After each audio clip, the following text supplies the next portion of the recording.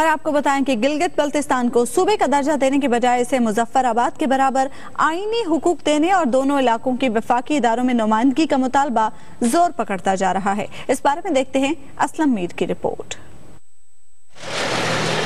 रियासती जम्मू और कश्मीर का इलाका जम्मू, वादी कश्मीर, लद्दाख, गिलगित बल्तिस्तान और आज़ाद कश्मीर पर मुश्तमिल है। ये तमाम इलाके मुतनाज़ हैं और इनके मुस्तबिल का फैसला अकवा मुतहदा की करारदादों के मुताबिक होगा। गिलगित बल्तिस्तान के लोग अपने इलाके को पाकिस्तान का आईनी हिस्सा बनाना चाहते हैं, जिसकी हुकूमत आज़ाद कश्मीर समेत तमाम सियासी व मजहबी जमातों ने मुखालफत की। आज़ाद कश्मीर असम्बली ने एक मुतफ़ा करारदाद पास की, जिसमें हमारा मतम नज़र सिर्फ़ ये था कि जो हमारा एक दरीना कॉज है कश्मीर कॉज उसको कोई डेंट ना पड़े। हमारी तो ये ख्वाहिश है कि आप गिलगित बल्चिस्तान के लोगों को भी उनके आईनी और कानूनी हकूक दें और आज़ाद कश्मीर के लोगों को भी उनके आईनी और कानूनी हकूक दें। आज़ाद कश्मीर कानून साज असम्बली ने मुतफ़ा करारदाद मंजूर करके गिलगित बल्तिस्तान को सूबाई दर्जा देने की मुखालफत करते हुए कहा की इस तरह के अमल ऐसी आलमी सतह पर पाकिस्तान का कश्मीर के हवाले ऐसी मौकफ कमज़ोर होगा। कानूनी माहरीन का कहना है की रियासत जम्मू कश्मीर के मुस्तकिल और पायदार हाल तक गिलगित बल्चिस्तान और आज़ाद कश्मीर को सूबा बनाने के बजाय